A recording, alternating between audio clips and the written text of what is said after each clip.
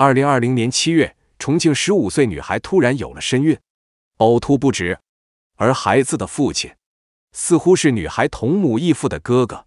母亲将女孩送去医院检查，而医生的一番话让母亲一阵后怕。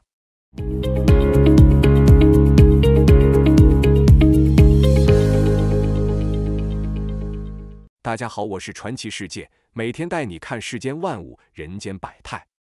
这位重庆女孩名叫小静。几年前，她的父母因为感情不和离婚了。母亲陈小华离开之后，她便一直跟在父亲身边生活。过了没几年，父亲给小静找了一个后妈，后妈名叫冉娟。小静虽然不喜欢冉娟，可她在家里没有任何话语权。就算她向父亲表达了自己的想法，父亲也不会有任何改变，反而会指责她懂事。所以他只能默默忍受。七月初，小静像往常一样在学校上课，但今天不知道怎么回事，身体一直在冒冷汗，上课也没有精神，只想趴在座位睡觉。午休吃饭时，他一点胃口都没有，吃什么就吐什么，就连喝一杯白开水都会反胃。班主任注意到小静的异常，上前询问小静怎么了，可小静却一副难以启齿的神情。什么话也不肯说，他将小静的症状和她的神情结合在一起，猜测小静大概率是怀孕了。意识到问题的严重性，班主任立刻拨打了小静后妈冉娟的电话，告知她小静身体不舒服，尽快将孩子送去医院检查。但冉娟妈妈却提出了反对，小孩子感冒发烧很正常，又不是什么大事，用不着去医院。冉娟无所谓的态度，将班主任心中的怒火点燃了。他斥责冉娟不配做母亲，小静怀孕了都看不出来。怀孕两个字把冉娟都听懵了。小静平日里不是在家里，便是在学校，连和男孩子单独相处的时间都没有，怎么可能会怀孕呢？心中虽然有太多疑惑，但冉娟也不敢耽搁，立刻去学校将小静接回家中。小静回家之后，呕吐的症状依然十分明显，而且她的下体还有鲜血渗出，和孕妇流产后的情况高度相似。原本冉娟和小静奶奶还觉得班主任在乱说话，小静不可能怀孕。可等他们看过小静的症状之后，心中已经相信了一大半，认定小娟不检点，怀上了别人的孩子。接着，冉娟和小静奶奶轮番上阵，逼问小静孩子的父亲到底是谁。但小静似乎并不想理睬他们，翻了个身便继续睡觉休息了。小静不肯说，冉娟和小静奶奶也无可奈何，只能互相回忆，看能否找出最近和小静有过来往的男性。回忆了半天之后，还真让他们找到了一个。这个男孩子就是小静同母异父的哥哥何宇。几个月前，小静学校放假，便去母亲何小华家中玩了几天。而当时何宇也在家中。虽然两个孩子处在一个屋檐下，可两人是有血缘关系的亲兄妹，怎么可能会做出如此离经叛道的事情呢？话虽如此，可冉娟和小静奶奶似乎已经认定。小静肚子里的孩子就是何宇的了。想到这里，冉娟立刻拿出手机告知陈小华：“小静出事了，让他赶紧来一趟。”陈小华虽然和前夫离婚了，但小静是他的心头肉。得知小静出事了，他便第一时间收拾东西，来到了前夫家中。看着小静脸色惨白的躺在床上，何小华觉得自己的心里都在滴血。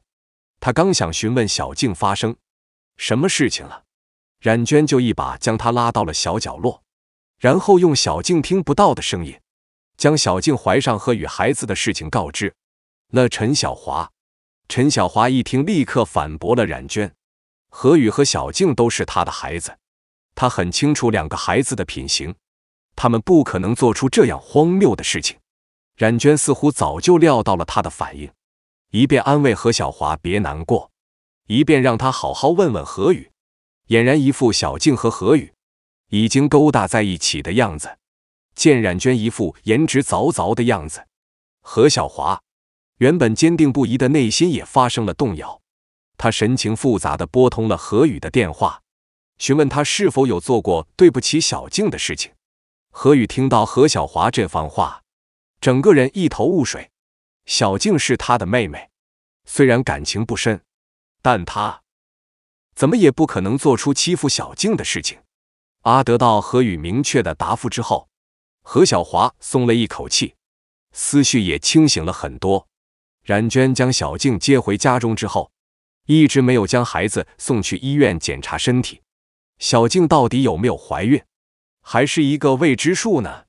想到这里，何小华立刻将小静送去医院检查。小静到底有没有怀孕呢？二零二零年七月，重庆十五岁女孩突然有了身孕，呕吐不止，继母和奶奶认定女孩怀上了亲哥哥的孩子，而女孩母亲认为另有隐情。将她送去医院检查，医生给出的诊断结果会是什么呢？为了弄清楚小静身体不适的原因，何小华匆匆忙忙的将小静送去医院妇产科做检查。一番检查之后，妇产科医生表示小静没有怀孕，但身体情况很差，需要立刻送去急诊室治疗部，然随时有生命危险。陈小华听后，立刻将小静送到了急诊室。经过近一个小时的紧急治疗，医生总算从急诊室出来了。医生表示，小静的体内含有老鼠药毒素，虽然当时没有毙命，可她体内的肾脏器官已经被毒素腐蚀了，所以才会出现呕吐、尿血的情况。得知女儿的身体情况之后，陈小华一整颗心都碎了。他知道自己和前夫离婚的事情，对小静造成了非常大的伤害。可他没有想到，小静这傻孩子居然会服用老鼠药。他想要询问女儿是不是受了什么委屈，可现在女儿刚脱离生命危险，正躺在病床上睡觉，他实在不忍心打扰女儿休息。正当他心力交瘁的时候，何小华的邻居打电话关心小静的身体情况，询问小静是不是怀孕了。邻居这番话让何小华狠狠皱眉。小静疑似怀孕这件事情，只有冉娟、小静奶奶和自己知道，外人怎么会知道这件事情呢？更何况小静根本就没有怀孕，如此胡乱造谣，不是在损坏小静的名声吗？何小华和邻居交流一番，得知造谣的人正是冉娟和小静奶奶。听到这两个名字，何小华怒不可遏。事情刚发生的时候。他们还装作一副老好人的样子，让何小华不要声张，偷偷解决就行了。如今他和小静不过刚离开一会，他们便开始造谣小静怀孕了。而且他们再怎么说都是小静的长辈，怎么可以在没有任何证据的情况下四处散播谣言呢？何小华拿起小静的检查报告，与冉娟和小静奶奶当面对质，质问他们为什么要这么做。面对何小华的愤怒，冉娟和小静奶奶都非常淡定，一口咬定是小静自己的原因。冉娟称家中没有没有老鼠药，小静哪里有机会服用老鼠药呢？而且老鼠药的毒性非常大，小静如果真的服用了老鼠药，不可能还活着。小静奶奶也同样如此，她认定小静生活不检点，经常和其他男孩子一起玩。关系不清不楚，另外医院的检查报告也说明不了什么。小静的反应分明就是怀孕了，医院却连这么简单的一个小问题都没有检查出来，这样的医院不开也罢。见冉娟和小静奶奶一副死不认账的样子，何小华也懒得和他们理论了。刚准备离开，何小华想起了还在医院接受治疗的小静。小静虽然没有生命危险了，但还需要长时间的治疗和休养，这笔费用数额非常巨大。而何小华就是一个普通的农民工，一个月工资也不过五六千左右，根本无法负担小静的医药费，所以他希望小静的父亲能够承担一部分医疗费。可这话刚说出口，就引起了冉娟和小静奶奶的强烈反对，他们认为。如今的这一切都是小静咎由自取，自己做出的事情就应该自己承担。他们绝对不会拿出一分钱。何小华与他们争吵了半天，也没有得到任何结果。恰好这时医院打来电话，告知何小华小静已经清醒过来了。得知小静清醒了，何小华也懒得和他们争论了，拿着自己的东西就去医院看望小静了。他想和小静谈谈，了解她不在的这段时间，小静受了哪些委屈，以及她为什么会想不开服用老鼠药。二零二零年七月，重庆十五岁女孩突然有了身孕，呕吐不止。母亲将孩子送去医院，意外得知女孩没有怀孕，而是服用了老鼠药。她到底经历了什么？为什么会服用老鼠药轻生呢？看着许久未见的母亲何小华，小静忍不住哭了起来。对于母亲的离开，她的心中也有怨恨，不肯将心事告诉何小华。面对母亲的关心，她也只是低着头不肯说话。